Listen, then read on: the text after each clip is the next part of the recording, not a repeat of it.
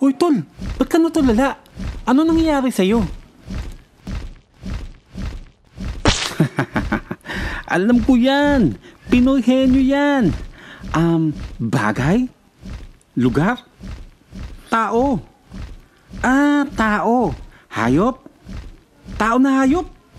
Hmm, kalahati tao na hayop. Babae? Maganda. Ah, lumilipad? May pakpak? Sexy? Oh my! Si Magdalena yan! Ang kalapating mababa ang lipad! Takbo! Kabobo naman ang dalawang ere. Ala, ay kaduduwag pa.